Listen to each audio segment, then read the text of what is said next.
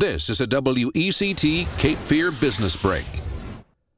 Good morning. I'm Jessica Kirk, and I'm here with bankruptcy attorney Chris Vonderau. Good morning. Good morning. Now, tell me, what are some common misconceptions about bankruptcy? What should people know?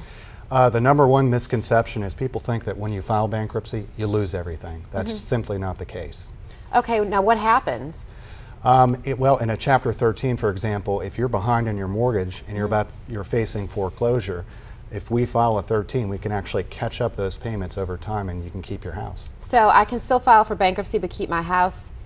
It's not as scary as it used to be? It is not nearly as scary, and you'd be surprised how many people are filing nowadays. Professionals, Mm-hmm. um, laborers, uh, an awful lot of folks. Now, when does somebody know that they're in trouble and they should be looking at bankruptcy? Uh, when they see that they can't pay their monthly bills on a regular basis.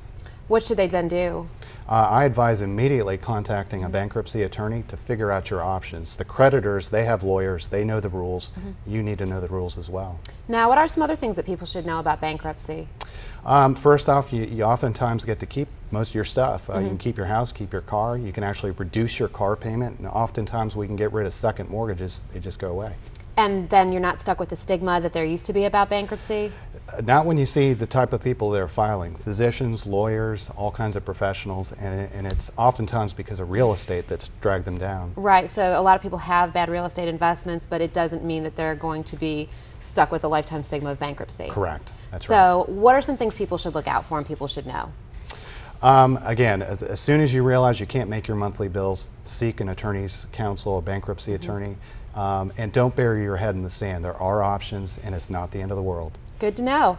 To find out more about Chris's practice in bankruptcy, log on to chrislegal.com. This has been a WECT Business Break.